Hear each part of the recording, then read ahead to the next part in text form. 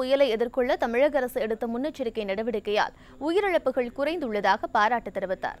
கஜா புயல் பற்றி முழுமையான அறிக்கை தாக்கல் செய்தால் மத்திய அரசு நிதி உதவி செய்ய தயாராக இருப்பதாக அவர் கூறினார். ஏற்கனவே தமிழகத்தில் ஏற்பட்ட வெள்ளச்சேதங்கள் பிரதமர் நரேந்திர மோடி நேரடியாக வந்து பார்வையிட்டு தமிழக அரசுக்கு தேவையான நிதி உதவிகளை செய்ததாகவும் ஹெச் ராஜா கூறினார். கஜா புயலை பொறுத்தவரை மாநில அரசாங்கம் பேரிடர் மேலாண்மை அமைப்பு எல்லாமா சேர்ந்து மக்களுக்கு சரியான முறையில் எச்சரிக்கை தெரிவித்து மிக பெரிய அளவில் உயிர் நஷ்டத்தை குறைத்திருக்கின்ற ஒரு சிறப்பாக பணியாற்றி இருக்கிறார்கள்.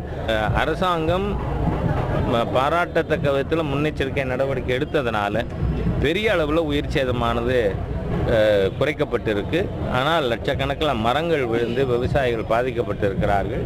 ஆகவே எதுவும் மின்சார இது பாதிப்பை டிஸ்ரப்ஷனை மின்துறை அதிகாரிகளை உள்ளபடியே பாராட்டினேன் ரொம்ப வேகமாக ரெஸ்டோர் பண்ணி கொண்டு இருக்காங்க ஆகவே கஜா புயலை பொறுத்தவரை மாநில அரசு சிறப்பாக செயலாற்றி இருக்கிறது.